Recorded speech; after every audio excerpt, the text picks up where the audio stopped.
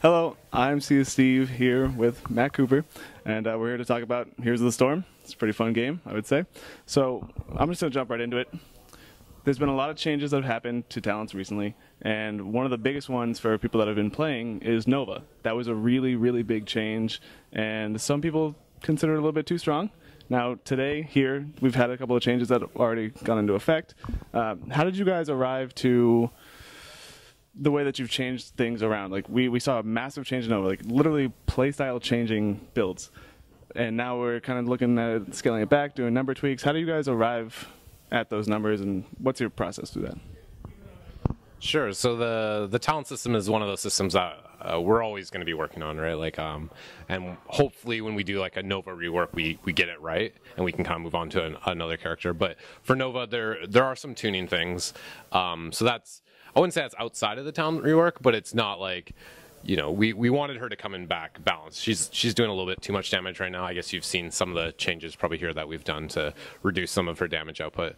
Um, but for some of that, we weren't um, we weren't super happy with Nova's playstyle. Like she was kind of a hybrid between auto attacks and spells, and you could kind of build her either way. But it was probably correct to build her to do more snipe damage.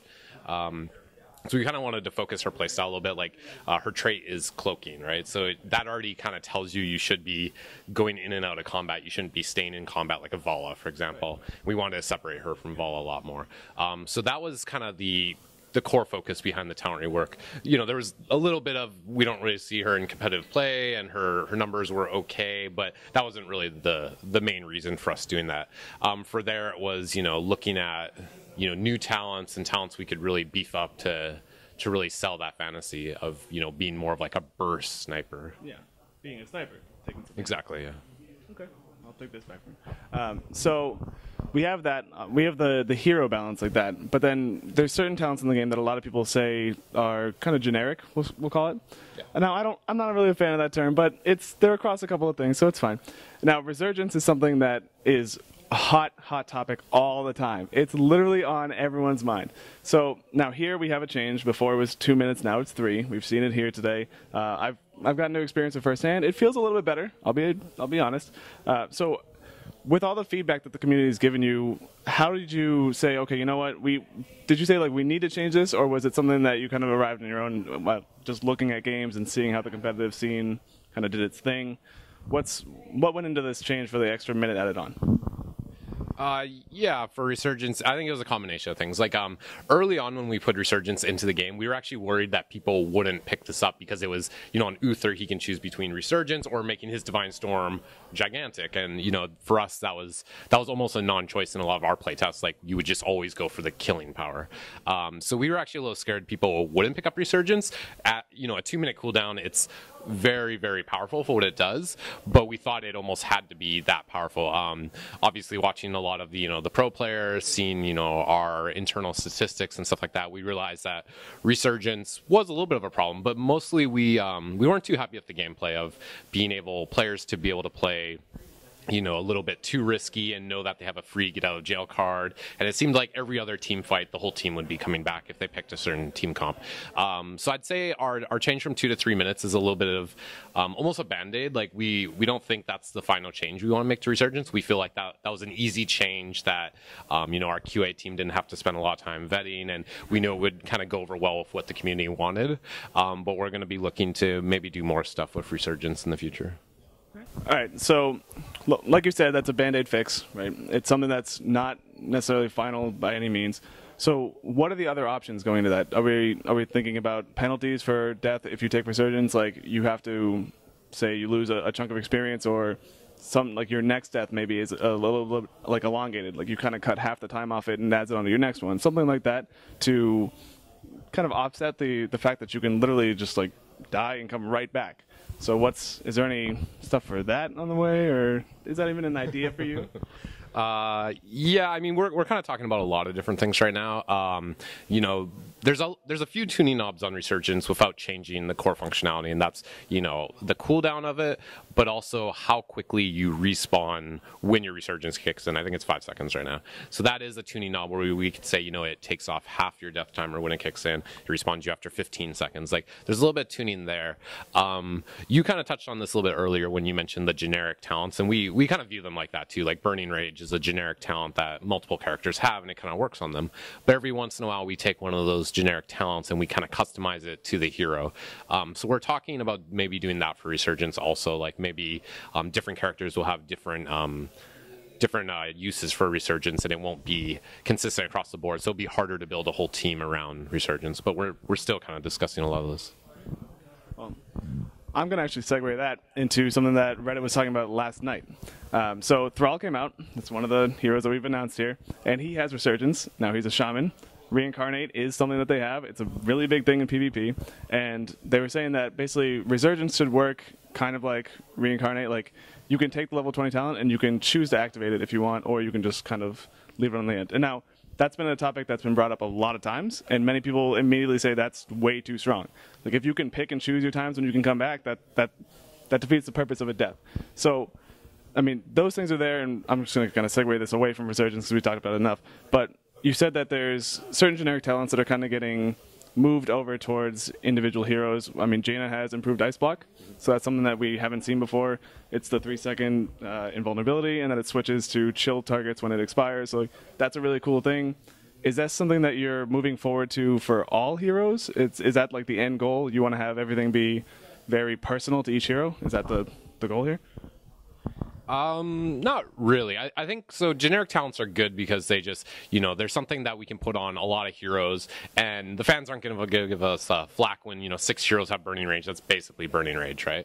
Um, so a lot of what we're doing with those. Uh, those generic talents that we're customizing, um, there's some lore stuff there, like Jaina is a frost mage, so why doesn't she have ice block? And you know, um, uh, who is a Rehgar had farsight instead of clairvoyance, and it's a little bit different. So that's kind of something we do. Um, we started doing it early on when we it just kind of made sense from a lore perspective. Like um, it allowed us to get kind of more of the the core kit, the core fantasy of that character into the game that didn't make sense in the core abilities.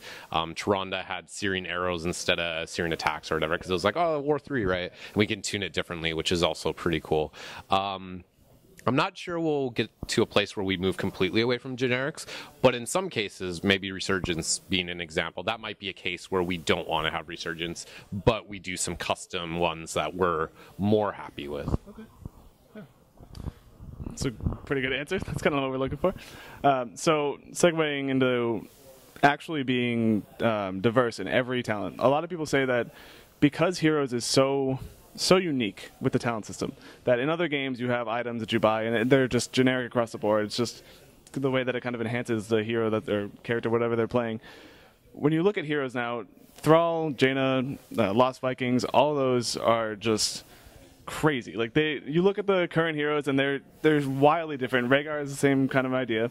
Um, the first time Rehgar hit the game, everyone was like, "This, this is how talent should be. This feels so right." And I've, I mean, I've gotten the chance to play them here today, and that's the exact way I feel about this. Like, I there's got to be at least four different viable builds per hero, and that's amazing. So I'm guessing that's what you're aiming for, but is that something that is like the actual goal now going forward? Because you have, you guys had enough time to really look at talents and say, okay, this works, this doesn't. Let's try to make it as as good as we can. Is that the goal? Uh, yeah, I mean, so uh, a lot with the talent system, it was it was a learning process for us, right? Like, um, about a year ago, I guess. So technical alpha came what February or March, early year, right? So end of last year, we were still moving between different talent systems, and we had um, the core talent system we had for a while was mostly a stat based system. So you, um, it was still custom per hero, but you were picking up um, your burning rage gave you plus 500 health, you know, and stuff like that. Um, and then we found, you know, I, I, won't go into too much detail about it, but we found a lot of people were picking the the talents just based off the stats. Like I want to build a tank, so I'm gonna pick everything that has plus health on it. There's a lot of different problems. So early on basically when technical alpha first came out that was like we we found the talent system we wanted to do but we crammed all that in you know pretty quickly. It was like okay just get stuff that's good enough get stuff that's that's good enough right? And as we um, we did more and more heroes we kind of learned um, how to make fun builds or you know what is too much synergy. I think we found there's Nova had a little bit too much synergy with with some of her reworks.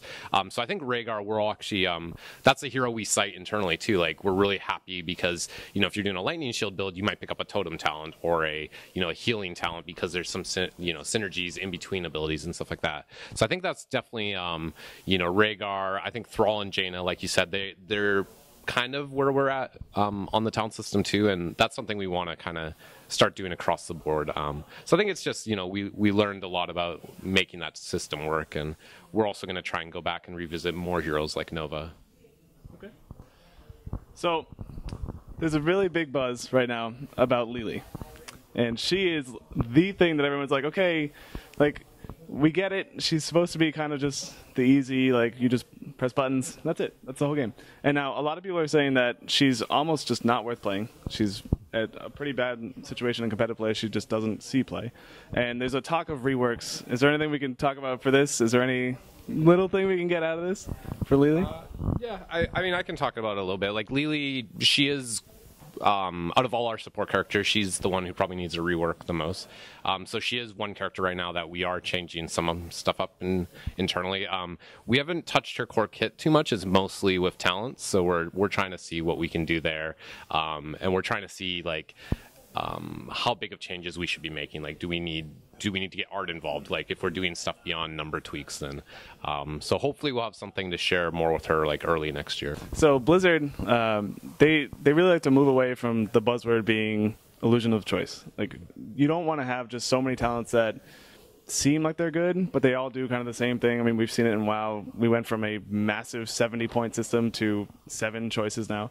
And when I look at heroes, I kind of see the same thing. It's it's not overly complex, but at the same time, it gives you enough options to really diversify your playstyle. And I think that's one of the biggest things that a lot of people are looking for. They're, they're looking for ways to say, okay, I know the base kit, how can I make this be my own thing? And is that something that you guys aim for when you go for hero design, or is it just we just want to make a really good hero and see how people play it afterwards?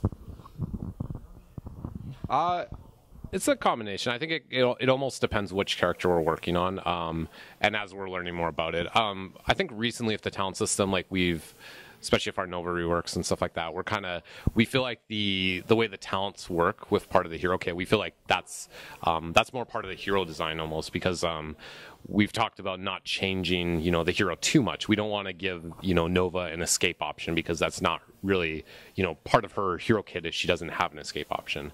Um, she so we didn't want to give her like sprint even though that would be you know sprint would be a great talent on her and people would, would love that but it just it kind of filled it would fill a um, a core weakness that we kind of don't want to fill with talents uh, it's definitely. Um, I think we try and make a generally good hero, but we're also looking to see how that hero fits into like a team composition.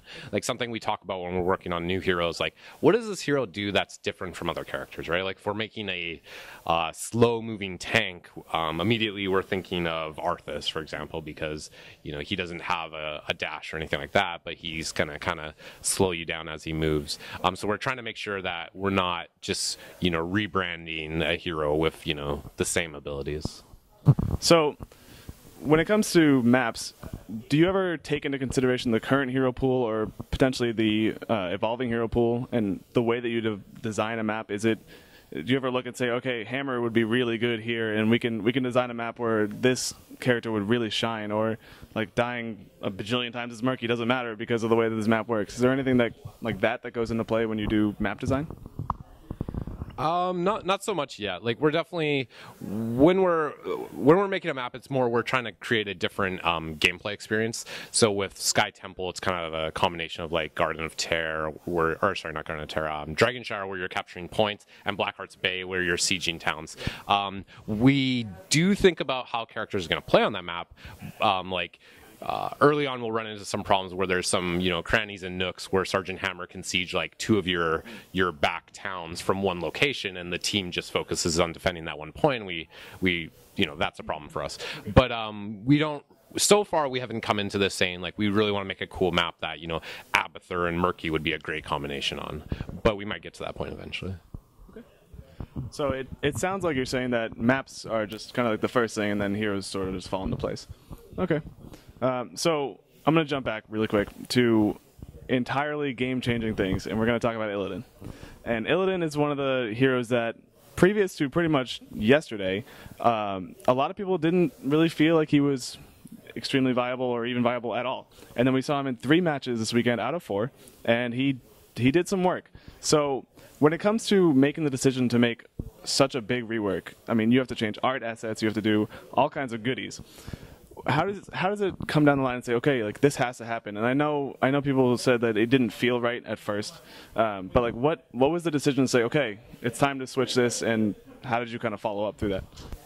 Um, yeah, the Illidan design, we weren't entirely happy with the kit, I guess. Like we we put it out and pretty quickly playing it, you know, out in the wild with people, we we said, you know, we can do better. So I, I think that was kind of the core. Um, it wasn't so much like his win percentage. Like he was actually pretty powerful in his first iteration, but um, it just it wasn't really the the gameplay we were going for.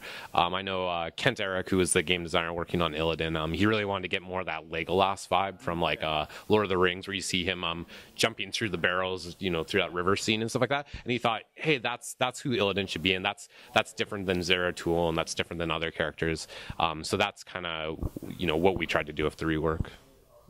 When it comes to character design, how does it come down the line? Like, how what's next? What is it? Just like a okay, this character would be cool to put in the game, and then it just kind of goes down the line, or do you have a way of saying like we need this type of character in the game? Like we're, we're missing X role. Do we have to like fill that immediately, or is it just whatever feels natural?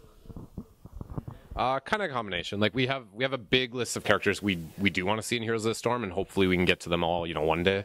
Um, but then we are looking at do we need more warriors? Do we need more range characters? Do we need more supports? Maybe we need more female warriors or, or whatever. Um, so then we're trying to see who in that list might fit that. We also don't want to release, you know, five assassins in a row. We want to have a mixture so that, you know, if you come back and there's two new heroes to Heroes of the Storm, hopefully there one of them will fit kind of a playstyle you like. You know, we're also looking for uh, characters that do something different, right? Like if we if we're releasing Jaina, who's you know a frost mage, you know, we might want to do something a little different for our next character.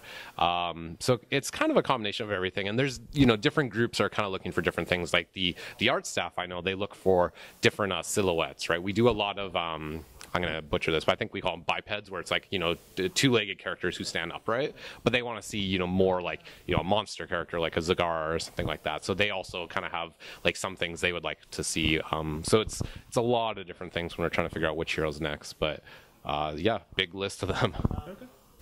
We're here at BlizzCon, and Overwatch just got announced. It's a pretty big game.